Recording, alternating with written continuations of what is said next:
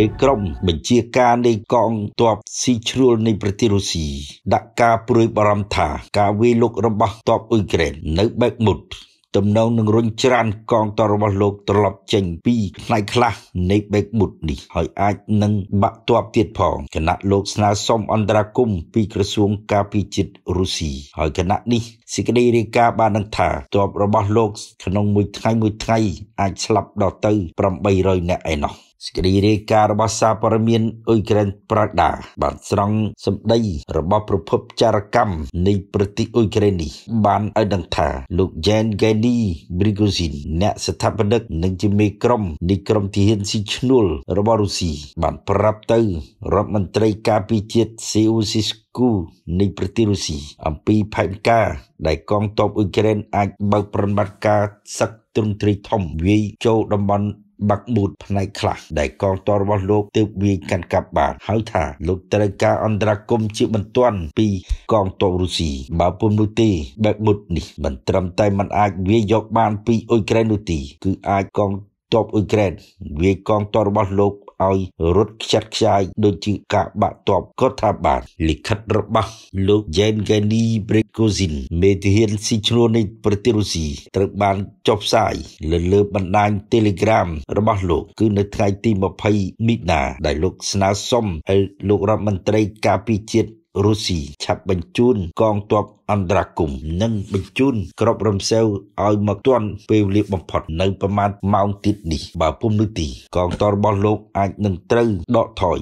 ឬក៏ត្រូវកងទ័ពអ៊ុយក្រែនវាយឲ្យដកថយវិញព្រោះថានៅពេលនេះក្របកំភ្លើងរបស់កងទ័ពរោគរបស់លោកគឺពិបាកទប់ទល់នឹងកងទ័ពអ៊ុយក្រែនដែលដូច្នេះលោកត្រូវការក្របកំភ្លើងអន្តរាគមពីកងទ័ពរុស្ស៊ី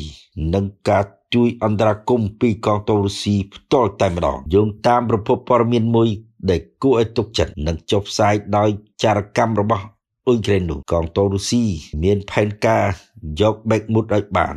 នៅដំណាច់ខែមិនិនានេះឬក៏ដើមខែមេសាដើម្បីអនុវត្តនៅការពង្រីកសមរភូមិនៅក្នុងខេត្តដូញែកនៃភាគខាងកើតប្រទេសនេះប៉ុន្តែកងទ័ពអ៊ុយក្រែនមានលទ្ធភាពក្នុងការកាត់ផ្តាច់ជាកង់ជាកង់នៃខ្សែត្រៀមរបស់កងទ័ព Wagner Group នៃក្រុមទាហានស៊ីឈ្នួល PMC នេះគឺមិនអោយមានភាពរឹងមាំក្នុងការវាយទប់ទល់ជាមួយនឹងកងទ័ពអ៊ុយក្រែននោះទេ លិខិតរបស់លោកព្រីកូស៊ីនដែលបានបញ្ជូនទៅ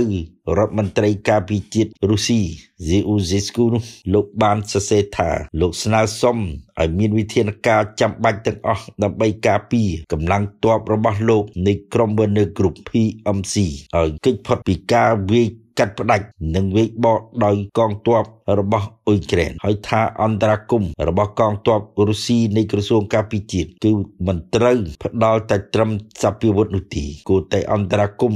ដោយកងទ័ពទៀតផងលោកបញ្ជាក់ថាការធ្វើប្រតិបត្តិការសឹកពិសេសនៅពេលនេះវាដល់ពេលវេលាដែលរុស្ស៊ីត្រូវពង្រឹងដែនដីរបស់ខ្លួនដែលយកបានប៉ុន្តែមិនត្រូវធ្វើប្រហែលនោះទេព្រោះពេលនេះអ៊ុយក្រែនក៏មានសមត្ថភាពក្នុងការវាយទប់ទល់ឬក៏វាយរុញច្រាននៅទីតាំងមួយចំនួនរបស់រុស្ស៊ីផងដែរលោកព្រីកូស៊ីនក៏បានបញ្ជាក់នៅក្នុងលិខិតរបស់លោកទៀតថាអ៊ុយក្រែនទំនងនឹងបើកប្រតិបត្តិការវាយបកគ្រប់ជ្រុងជ្រោយ នៅបេកមុតនេះហើយទីតាំងបេកមុតនេះមាននឹងអាចត្រូវកងទ័ពរបស់អ៊ុយក្រែនវាយកបានមួយចំនួនមកវិញនៅគណៈដែរកងទ័ពរបស់លោកវាយកាត់កាប់បាន នៅចំណុចភូមិសាស្ត្រនោះបានត្រឹមតែជិត 70%ប៉ុណ្ណោះឥឡូវនេះការវាយប្រយុទ្ធគ្នា កំពុងតែខ្លាំងក្លាបំផុតលោកថាលោកចង់វាយយកឲ្យបាន នៅទឹកដីបេកមុតនោះគឺនៅប្រមាណថ្ងៃទៀតនេះតែលោកប្រមានថាទំនងអាចនឹងត្រូវកងទ័ពអ៊ុយក្រែនរុញច្រានចេញពីទីតាំងដែលកងទ័ពរបស់លោកកំពុងតែវាយយកបាននោះឧបនាយករដ្ឋមន្ត្រីអនុរដ្ឋមន្ត្រីក្រសួងការពារជាតិអ៊ុយក្រែន Hanna Malia បាននិយាយថាកងទ័ពរបស់អ៊ុយក្រែននៅពេលនេះបានបំផ្លាញនៅអង្គភាពកងទ័ពរបស់រុស្ស៊ីជាច្រើននៅបែបមុតជាពិសេសគឺកង ទ័ពនៃក្រុមទាហានស៊ីឈ្នួលរបស់រុស្ស៊ីនេះហើយថាកងកម្លាំងរបស់អ៊ុយក្រែនកំពុងតែមានភាពរីកចម្រើន និងមានព្រៀបនៅសមរភូមិស្ទើរតែគ្រប់ជ្រុងនៃក្នុងតំបន់បេបុកទាំងមូលប៉ុន្តែអនុរដ្ឋមន្ត្រីការពារជាតិអ៊ុយក្រែននេះអាងថាកងទ័ពរុស្ស៊ីក៏មានព្រៀបខ្លះដែរនៅទីតាំងមួយចំនួនប៉ុន្តែមិនមែននៅបែកមុតនោះទេជាមួយគ្នានេះសារព័ត៌មាន The New Voice of Ukraine ផងដែរបានធ្វើសេចក្តីរាយការណ៍ចុងក្រោយពីសមរភូមិនៃបែកមុតមកថាការវាយប្រយុទ្ធគ្នាយ៉ាងសម្បើមដល់ដំណាក់កាលចុងក្រោយនេះគឺពេលខ្លះកងទ័ពអ៊ុយក្រែនវាយផ្ដាច់ខ្សែត្រៀមរបស់កងទ័ពនៃក្រុមទាហានស៊ីឈ្នួលរបស់លោក Yevgeny Prigozhin ហើយបើតាមដំណឹងមកថាក្រុមទាហានស៊ីឈ្នួលដែលយកមកធ្វើសង្គ្រាម នៅបែកមុតនោះវាមានរហូតដល់ទៅ40000អ្នកជាងឯណោះប៉ុន្តែនៅពេលនេះក្រុមទាហានស៊ីឈ្នួលនេះអាចស្លាប់ឬក៏បាត់បង់នៅលើសមរភូមិដល់ទៅ800អ្នកឯណោះហើយពេលខ្លះគេរកឃើញការស្លាប់ទាហាន